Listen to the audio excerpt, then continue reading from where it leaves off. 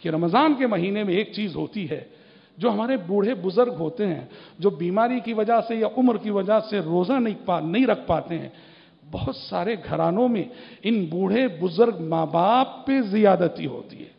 بھلے سے آپ اور ہم سمجھیں کہ نہ سمجھیں، مگر ان کا احساس یہ کہتا ہے کہ ان پر زیادت، کیسے زیادتی ہوتی ہے؟ وہ بوڑھے ہیں، وہ بیمار ہیں، انہیں ناشتہ تازہ چاہیے۔ انہیں کھانا تازہ چاہیے۔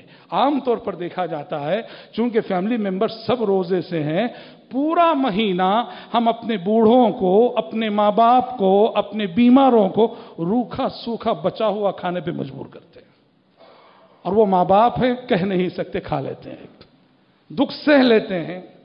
وہ کہہ نہیں سکتے، کھا لیتے ہیں۔ اور بات ہے، پر ان کا احساس ان کا درد ہے کہ یہاں تک ہم نے سنا ہے، یہاں تک سنا ہے، اس وجہ سے بہت سارے ضعیف، کمزور لوگ ایسے ہیں، رمضان کی آمد پہ انہیں ڈر ہونے لگتا ہے، رمضان آ رہا ہے، اب یہ ایک مہینہ، ہمیں بس روکھا سوکھا کھا کے رہنا پڑے گا۔ ایسا مت کیجیے، ایسا مت کیجیے۔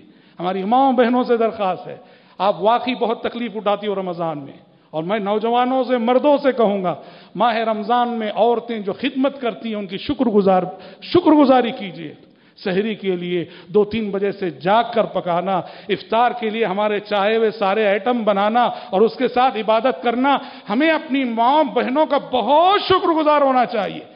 بہت محنت کرتی ہیں ہماری ماں بہنیں۔ ہماری ان ماں بہنوں سے درخواست بھی ہے، آپ کے گھر میں آپ کے آپ کی ساس ہو، آپ کے سسر ہو، جو بھی بیمار، کمزور، لاغر، مجبور، ان کا خیال کیجیے ان کی خاطر تھوڑی تکلیف آپ برداشت کر لیجیے، مشقت برداشت کر لیجیے، مگر انہیں تھوڑا سا تازہ کھلانے کی کوشش کیجیے، روکھے سوکھے پہ پورا مہینہ گزارنے کی کوشش ہرگز نہ کرے۔